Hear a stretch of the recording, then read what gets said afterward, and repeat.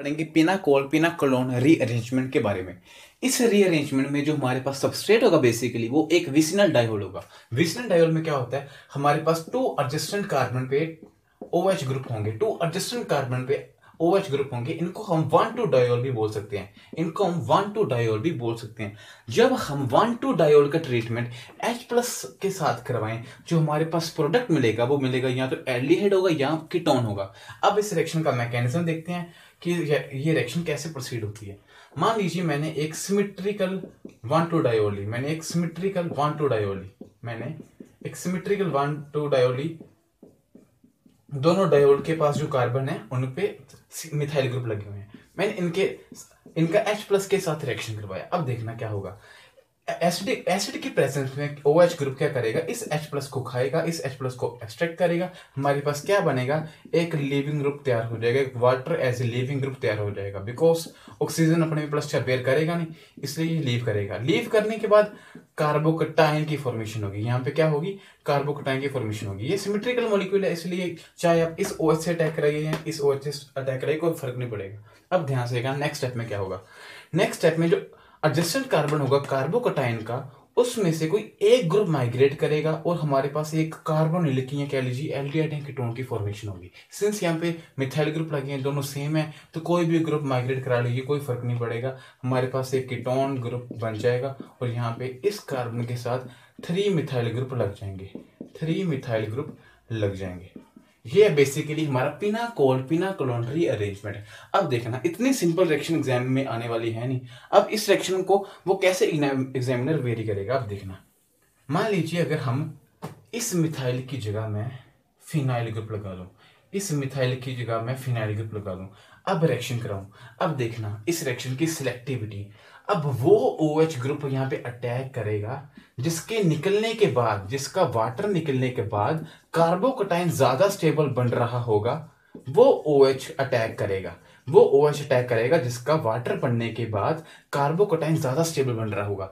Since यहाँ पे जो कार्बोकटाइन बना है, वो टू बेंजीन रिंग के साथ टू फिनाइल रिंग के साथ कंजुगेशन में है रेजोनेंस में है, इसलिए ये कार्बोकटाइन ज़्यादा स्टेबल है।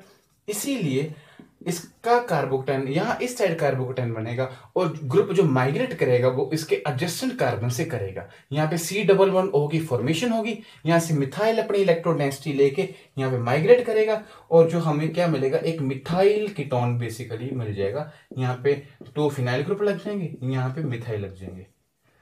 अब इस रिएक्शन में अगर हम और फेरबदल करें, इस रिएक्शन में अगर अब हम और फेरबदल करें, मान लीजिए हम इस मिथाइल की जगह, एक मिथाइल की जगह मैं हाइड्रोजन रख दूँ। ध्यान से देखना। अब इस मिथाइल की जगह मैं हाइड्रोजन रख दूँ। आप बोलोगे कि कार्बोटाइन तो फिर भी यहाँ पे बनेगा बिकॉज़ कार्बोटाइन की स्टेबिलिटी तो यहाँ पर ही है। हाँ कार्बोटाइन तो यहाँ पर ही बनेगा बट अब जो ग्रुप माइग्रेट करेगा, वो बदल सकता है। अब ग्रुप जो माइग्रेट करेगा, अब कौन सा ग्रुप बिना कोल्ड रीअरेंजमेंट में माइग्रेट करता है? आपको वो माइग्रेटरी ऑर्डर याद रखना पड़ेगा कि किसका, किस ग्रुप का, कौन सा ग्रुप कौ, कौन ग्रुप अपनी इलेक्ट्रोडेंसिटी लेके ने, नेबर कार्बोटाइम पे जाएगा?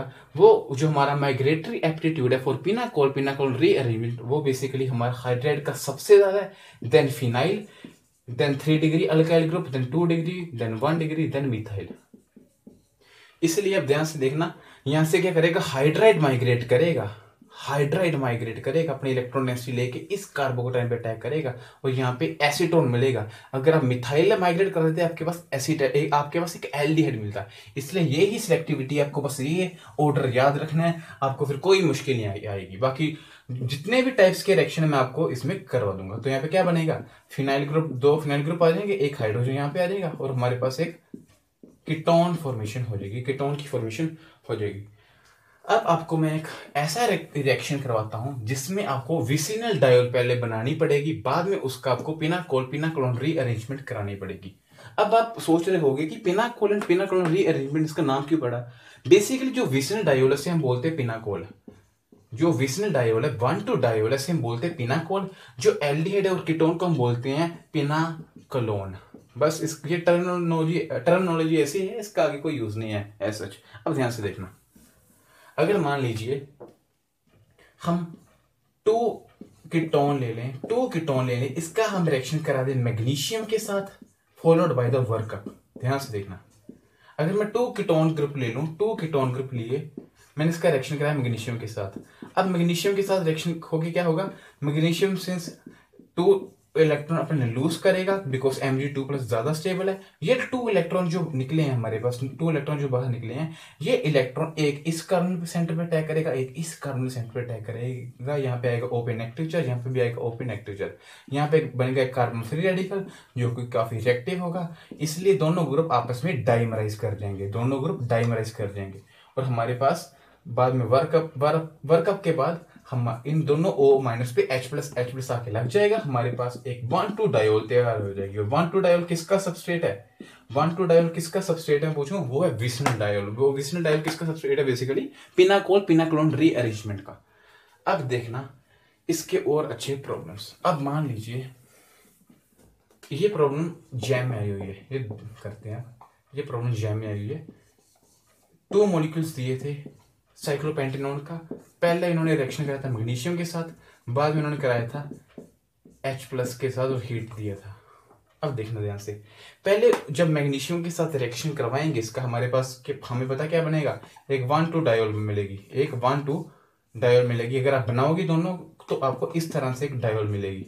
एक वन टू डायोल मिलेगी। अब बाद में इसका एच प्लस के साथ ट्रीटमेंट करोगे, अब देखना, ध्यान से देखना। तो क्या होगा आपके पास? कोई भी ओ ले सकता है बोथ ओ आर सिमेट्रिकल मान लीजिए मैंने इस ओ से ये एच प्लस पे अटैक कर दिया तो यहाँ पे क्या आएगा? वाटर बन जाएगा। यहाँ पे वाटर बन जाएगा देन वाटर जब निकलेगा यहाँ से तो हमारे पास यहाँ पे कार्बोकटाइन फॉर्मेशन होगी।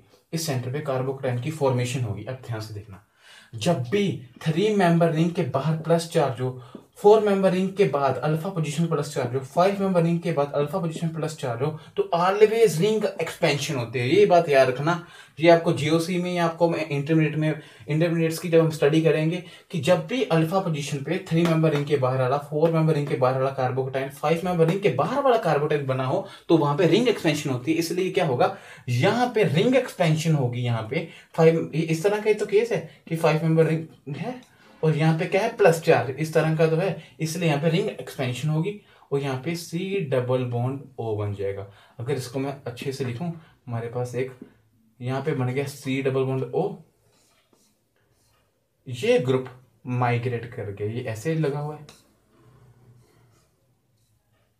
यहाँ पे ये बॉन्ड बन गई। ये हमारे पास एक सिक्स मेंबर की रिंग बन गई। एक हमारे पास फाइव मेंबर की रिंग बन गई। इसको मैं अच्छे से लिखूं तो इस तरह से होगा ये कि सिक्स मेंबर रिंग एक फाइव मेंबर रिंग के साथ लगी हुई है। ये था इसका प्रोडक्ट ये आई आई जैम एग्ज़ाम में आया हुआ है।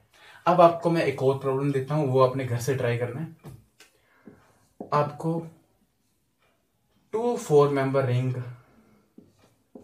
का reaction basically same as it is कराना। प्रोडक्ट प्रोडक्ट देखना है, क्या बनेगा? प्रोडक्ट बताना है, क्या बनेगा? ये क्वेश्चन करके देखना। अब हम कुछ इसकी और अच्छी एग्ज़ाम्पल करते हैं। मान लीजिए अगर हमारे पास वन टू डायोल की जगह वन टू सेकेंड पोजिशन पे कोई लिविंग ग्रुप हो, कोई अच्छा लिविंग ग्रुप हो, ये लिविंग ग्रुप कोई भी हेलोजन हो सकता है, या हमारा डाई अजोनियम हो सकता है, जब भी, या ओटीएस हो सकता है, जब भी हमारे वन अगर मैं विसिनल डायोल को छोड़ के, अब हम देखें पिनाकोल रीअरेंजमेंट में ओएच की प्रोटोनेशन के बाद एक ओएच अच्छा लिविंग ग्रुप बन जाता है। इसलिए टू दूसरा ओएच ग्रुप क्या करता है हमारा? ऐसे न्यूक्लियोफाइल काम करता है यहाँ से जो ग्रुप होगा वो माइग्रेट कर जाएगा। इसलिए एक और टाइप की पिनाकोल रीअरेंजमेंट है। अगर एक ओएच की जगह एक विष्णु डायोल की जगह मैं एक, डायल को हट एक ओएच को हटा के कोई लिविंग ग्रुप निकाल लगा लू। मान लीजिए मैंने क्या किया? मैंने एक किस तरह का कोई ओ एच यहाँ पे लिया इसके विस्नल पे इसके एडजस्टेंट पोजीशन पे कोई हेलोजन लगा दिया। तो यहाँ पे क्या लगे हमारे? Two C A three group मान लीजिए मान लीजिए यहाँ पे हाइड्रोजन लगे चलो मान लीजिए यहाँ पे सी थ्री लगे यहाँ पे टू फेनल ग्रुप लगे हैं। यहाँ पे भी मिथाइल लगे मान लीजिए। इसका मैंने रिएक्शन कराया ए जी प्लस के साथ, या ए जी एनओ थ्री के साथ। हमें पता है ए जी सेल की प्रेसिपिटेशन होगी। हमारे पास क्या बनेगा? इस साइड कार्बोकोटाइन बनेगा। तो यहाँ से क्या करेगा? एक मिथाइल ग्रुप माइग्रेट करेगा। सिमिलरली पिनाकोल रीअरेंजमेंट होगी। मतलब कहने का है कि पिनाकोल रीअरेंजमेंट में अगर वन टू डायो ना हो एक ग्रुप एक कार्बन पे ओ OH हो, उसके एडजस्टेंट कार्बन पे कोई अच्छा लिविंग ग्रुप हो तभी भी पीना पिनाकोल रीअरेंजमेंट हो सकती है। अगर मैं बात करूँ, आपके पास एक कार्बन पे ओ OH ग्रुप लगा है, एक कार्बन पे NH2 ग्रुप लगा है, ध्यान से देखना।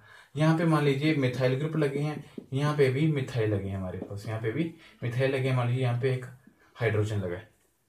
मैंने इसका रिएक्शन करवाया N A N O two in the presence of H C L अब ध्यान से देखना। तो देखते हैं प्रोडक्ट कौन सा बनेगा। हमने क्या किया? N N two presence C L का इसके साथ रिएक्शन कराया। हमें पता है, जब भी हम एन एच टू का रिएक्शन हम किसी अमाइन का रिएक्शन वन डिग्री अमाइन का reaction N N two in the presence of H C L कराएँ तो हमारे पास क्या बनेगा? एक डाइजोनियम साल्ट की फॉर्मेशन होगी, एक डाइजोनियम साल्ट की फॉर्मेशन होगी। यहाँ पे एक डाइजोनियम सॉल्ट बन जाएगा और ये सी एल माइनस इस एच प्लस को एब्स्ट्रैक्ट कर लेगा। यहाँ पे आएगा ओ पे माइनस चार्ज तो एन टू प्लस काफ़ी सिंस हमें पता है नाइट्रोजन मोलिक्यूल काफ़ी स्टेबल है तो यहाँ से नाइट्रोजन मोलिक्यूल निकलेगा। और हमें यहाँ से नाइट्रोजन मोलिक्यूल निकलेगा तो यहाँ से कौन सा ग्रुप माइग्रेट करेगा, जिसका माइग्रेटरी एप्टीट्यूड ज़्यादा होगा, वो किसका ज़्यादा हाइड्रेट का। इसलिए यहाँ पे हाइड्रेट माइग्रेट करेगा। और कोरस्पॉन्डिंगली हमारे पास एक एल्डिहाइड मिल जाएगा।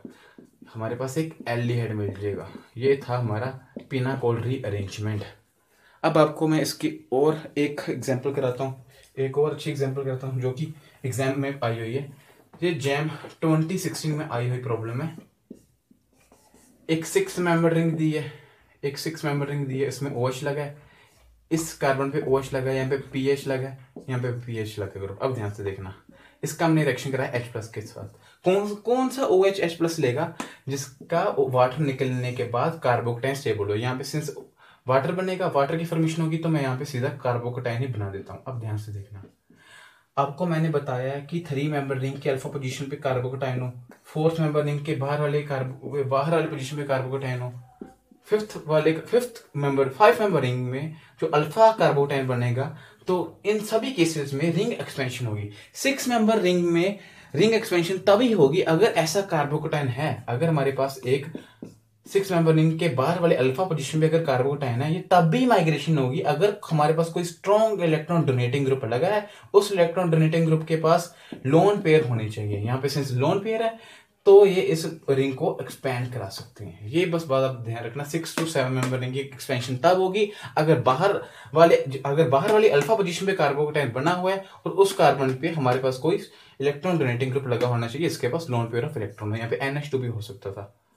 तो यहाँ पे हमारे पास एक सेवन मेंबर रिंग की फॉर्मेशन होगी। तो यहाँ पे हमारे पास टू पी एच लग जाएँगे। ये आया था हमारे I I T JAM twenty sixteen में। ये पिनाकोल पिनाकोल और रीअरेंजमेंट इसकी प्रॉब्लम्स को मैं आप डिस्क्रिप्शन बॉक्स में डाल दूँगा। आप ट्राई करना और काफ़ी अच्छी प्रॉब्लम्स होंगी। काफ़ी सभी प्रॉब्लम्स बेसिकली प्रीवियस ईयर की हैं और हम नेक्स्ट वीडियो में उस प्रॉब्लम्स को डिस्कस करेंगे। Thank you